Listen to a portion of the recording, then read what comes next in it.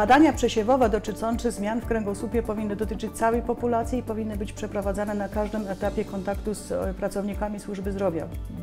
Pytania dotyczące bólu kręgosłupa powinny być kierowane przez lekarzy rodzinnych i powinny być również kierowane przez lekarzy medycyny pracy.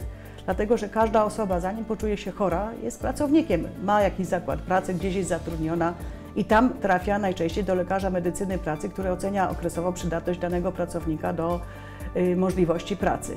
Y, Takie mm, chorągiewki, jak to jest określane w Europie Zachodniej, czyli to, czy dany pracownik ma problemy z kręgosłupem, czy nie ma, czy te problemy z kręgosłupem mogą wpływać na wykonywaną pracę i czy te problemy z kręgosłupem są niebezpieczne i wymagają natychmiastowej diagnostyki, już są w tej chwili przeprowadzane, jeżeli chodzi o kraje europejskie. W Polsce tego typu badań przesiewowych nie przeprowadzamy, aczkolwiek na tym etapie można by było wykryć wszystkie te choroby na bardzo wczesnych etapach, zanim pracownik, który się czuje osobą jeszcze zdrową, okaże się, że jest chorą i uda się do jakiegokolwiek specjalisty.